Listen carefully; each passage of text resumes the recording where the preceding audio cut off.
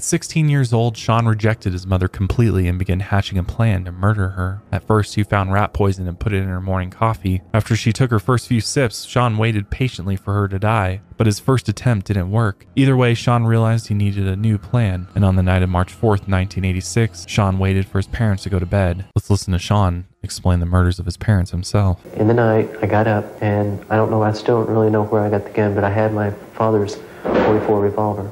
I walked into my parents' bedroom, looking down at them, and I raised the gun up and I pointed it at my father's head. I squeezed the trigger, and then I immediately raised it to where my mother's head was and squeezed the trigger again. The police interview with Sean lasted for seven hours, but it didn't take long for police to realize that Sean was hiding something. Not long after this, Sean confessed to murdering his parents. When the trial was over, Sean Sellers was convicted of his crimes. The court then sentenced him to death, and Sean became the youngest inmate on Oklahoma's death row.